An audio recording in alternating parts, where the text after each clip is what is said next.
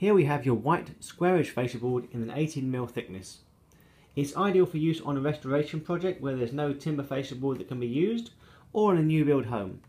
It comes in 2.5 metre and 5 metre lengths and as usual it is co-extruded. You can see here the interior is aerated so it keeps it lightweight and it uses less plastic so it makes it cheaper for you to buy. The exterior is a high gloss hard wearing coating so it will last a long time, uh, so long in fact that the manufacturers give it a 50 year guarantee.